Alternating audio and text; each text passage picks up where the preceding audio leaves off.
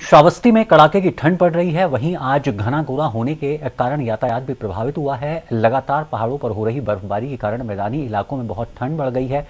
ठंड से बचने के लिए लोग अलाव का सहारा ले रहे हैं। वहीं प्रशासनिक अधिकारियों की लापरवाही के कारण जनपद में सार्वजनिक जगहों पर अलाव की व्यवस्था नहीं की गई है, जिससे लोग अधिक परेशान हैं।